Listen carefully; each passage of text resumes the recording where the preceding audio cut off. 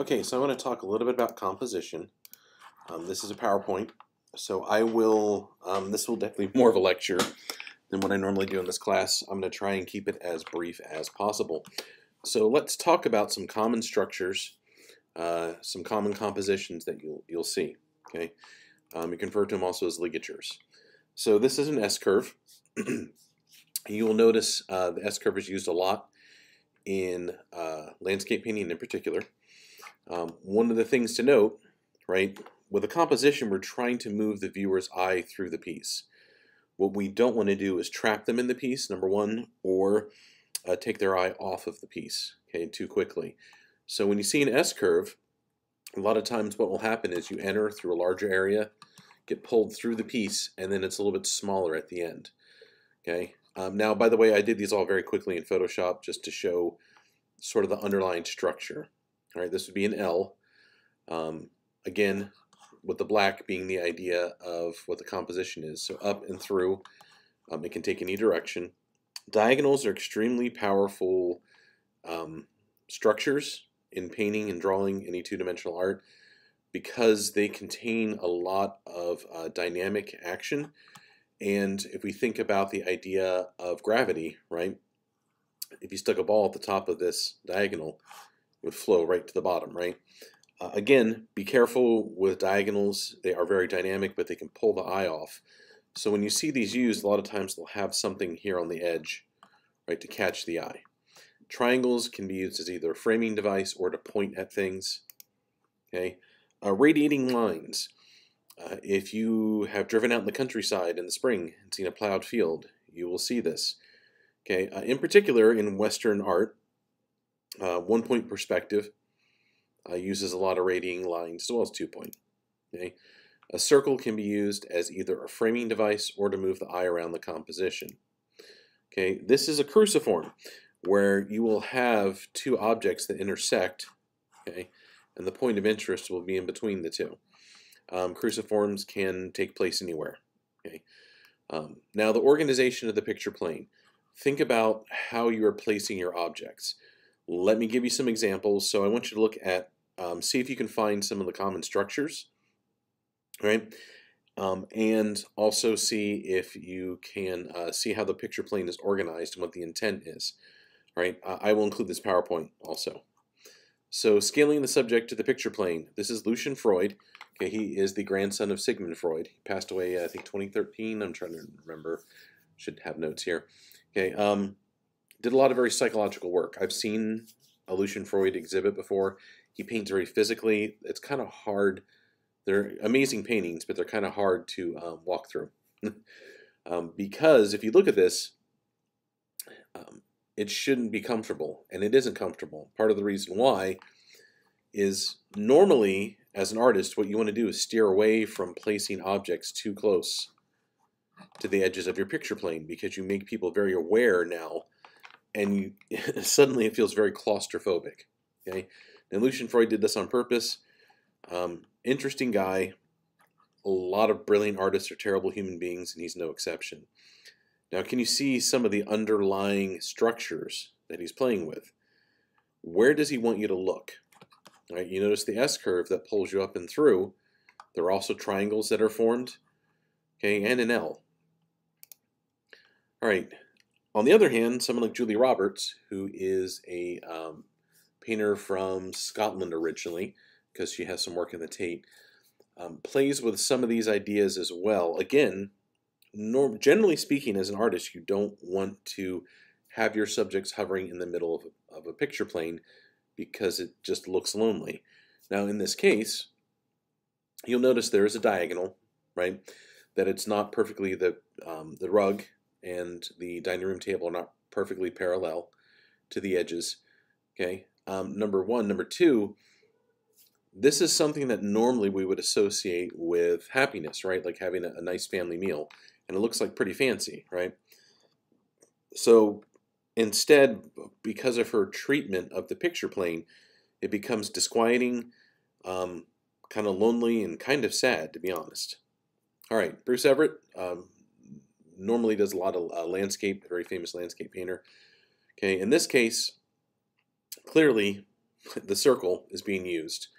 And you'll notice what he does, which is clever, which is he just breaks the plane with one piece. Okay, so if this was completely encircled, it might feel just a little too claustrophobic, and instead he gives us a little out. Okay.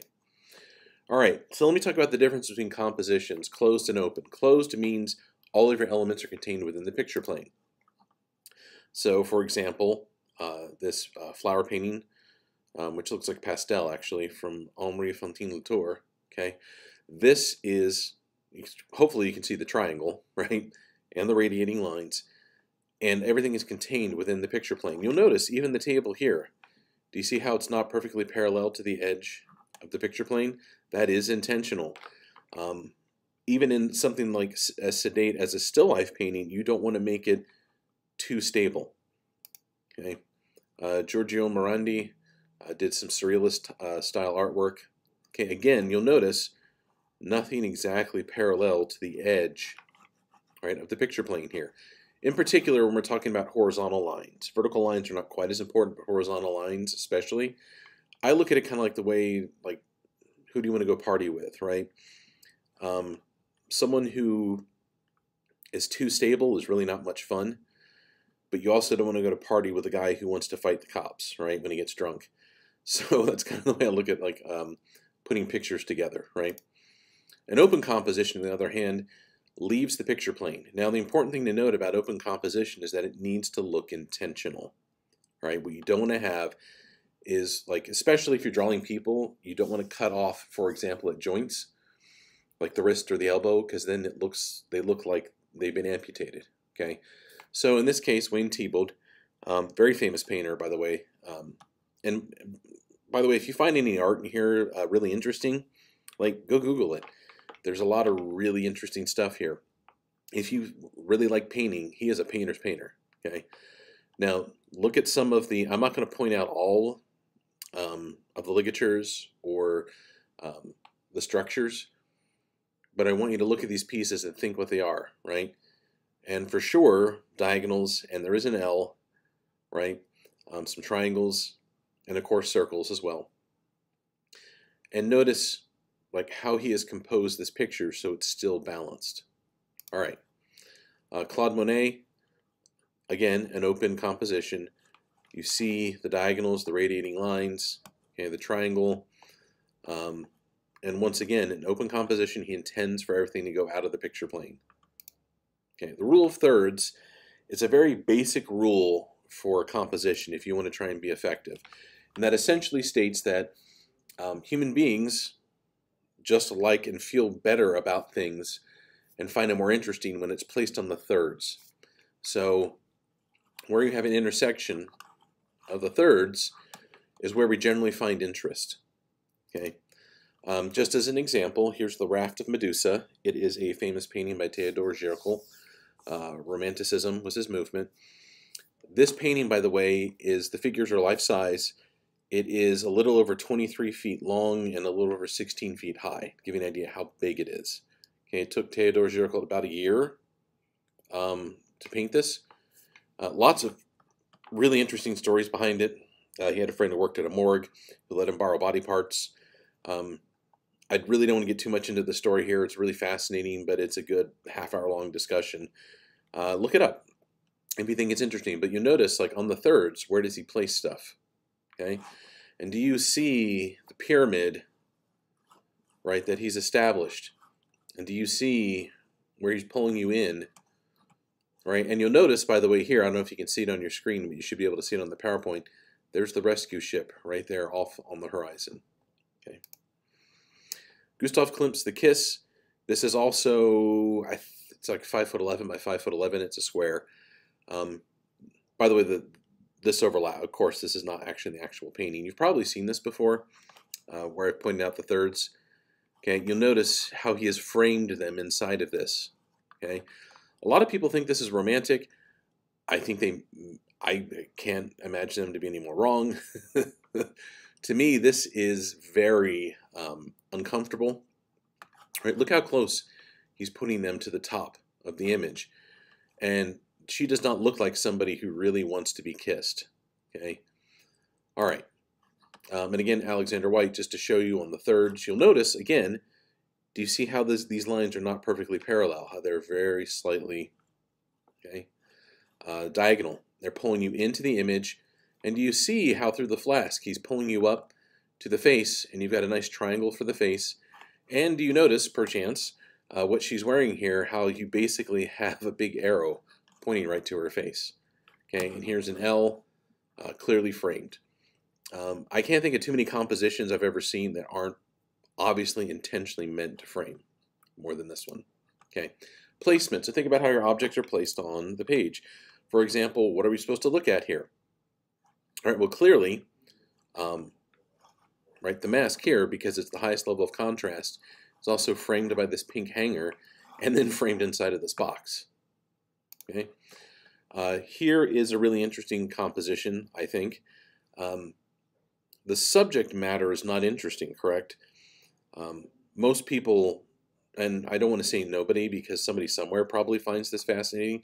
Most people are really not, interested on a spoon sitting on a tablecloth, okay?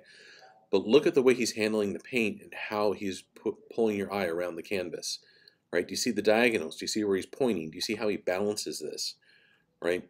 Uh, I think it's a remarkable painting, to be completely honest, because he stripped away almost everything, and that's hard to do. There's nothing here to hide uh, the composition.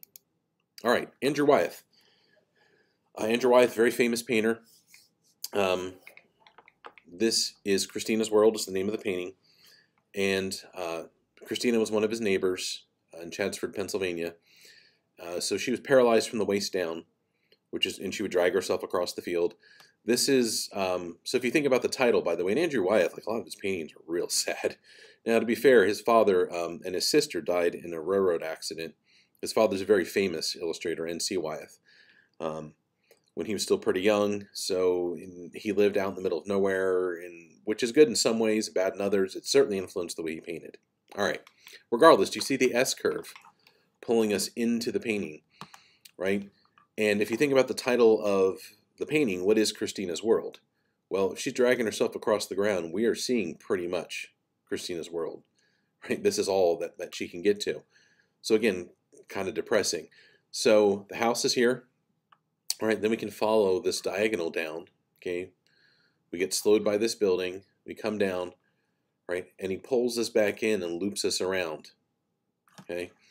So again, he keeps moving us through the piece right? And visually, what we want to do is follow this around, okay? But we don't feel trapped, which is another important thing, okay? Eric Fischl, um, contemporary painter, paints a lot of uh, uh, issues with modern life. Uh, you'll see if you look at his work, it's really interesting. Again, I wish I could talk about all of these, but there's just simply not enough time, and nobody wants to sit through like a five-hour video of me like, I don't even want to sit through a five hour video of me doing this. All right. Do you notice the triangle pointing right at the face? Do you notice the L pointing right at the face? By the way, if you make a piece of work and a human being is in it and their face is visible, that will be your area of interest. Um, it's almost impossible to, to not have that as the subject matter area of interest in a painting because as human beings, we like to look at other human beings. It's really hard to pull away from that. Okay, Caravaggio, uh, another one fascinating to, to sort of um, to read about. Um, he probably had some pretty severe lead poisoning. Uh, read read about his life. Go learn something if you don't know about him. He's um, fascinating character. Did some terrible things. This is Judith beheading Holofernes. Okay, you'll notice again, right, where the light falls, how it's composed. How are we supposed to move our way through this painting? Okay, think about that and look at it. Look at what he's emphasizing and de-emphasizing, right? Okay, Edward Degas. Um, I believe this one is called the Bellelli family. Bellelli family, um, B-E-L-L-E-L-L-I, I believe. Okay, so uh, this is interesting. This is his aunt, and um, his aunt and his uh, uh, his uncle here um, did not I mean, let's look at this painting first and tell me what kind of feeling you get. Does this look like a happy family, right? So here we have the daughter, one daughter looking at us, the other one and the mother looking off to the side. You notice none of them are looking at the father. You notice the father's not turned towards the viewer. Okay, and you'll notice too that he's also separated, right, by some of these lines. Okay, and you'll see the L's, right, uh, the contrast. Um, this was not, we don't have all the information, but we do have a, a, handwritten note um, from his aunt to him uh, after he had painted this and returned home and essentially said, I'm sure you're happy to be home and see faces not as sad as mine or as um, uh, argumentative and um, what's the word I'm looking for? Not nice. My words today, okay, as as your uncles, okay. So again, this is a really good uh, way of looking at composition as a psychological factor, okay. Edward Hopper, Radiating Lines. I'm sure you see this. I love Edward Hopper's work, very much about isolation. Okay. Again, Eric Fischl. Look again. What I want you to look at is how are they pulling us through the picture plane? How is it composed? Look at how many areas where there isn't anything. Okay, that gives usually gives your image someplace to rest. Okay, so don't be afraid of open space. All right, leading line. This is a really good example of it. Just simply like how are you pulling the viewer through your image? Alphonse Mucha, okay, famous uh, Czech painter, um, more famous for his illustrations. His uh, I'll show you a painting here in a minute. His oil paintings are amazing, amazing draftsman. Look at how he's leading you through the piece. Okay, think about some of those structures. Peter Paul Rubens. Okay, you will notice the pyramid. Right, the pyramid happens a lot in um, in art, uh, especially in a lot of classic art, and especially if it's something supposed to be important okay because the pyramid is very stable and it's supposed to be saved for like grand things okay so here we have this battle and you'll see how he's leading us again if you start to look how is he leading you through the composition how are we supposed to read this story okay Giovanni Battista Tiepolo uh, amazing painter really interesting for his time as well now even without knowing the story of the crucifixion and let's suppose you don't have any knowledge right of, of um, of the Bible or what happened to Christ. Okay, can you tell what's going to happen in this story because of the way he leads you through? Right? You see how he's pulling you up and around and through to the top. You know that this this individual is going to the top of the hill. They're going to be hung on the cross. Okay. Uh, Thomas Hart Benton, famous American painter. Do you see the framing device here? Follow the lines. Do you see how he pulls you through the image? Okay, Paul Cadmus again, um, doing some social real, realism, time of troubles. Uh, this is an ugly, ugly painting, painted beautifully, but it's an ugly, ugly thing that happened. Okay, look at how he's leading you through the victims. Okay. All right, and this is one of Alphonse Mucha's paintings. Okay, um, he did a whole uh, the Czech epic. Uh, it's really fascinating. I think it's worth viewing. Again, leading lines through. Okay, and that is it, folks.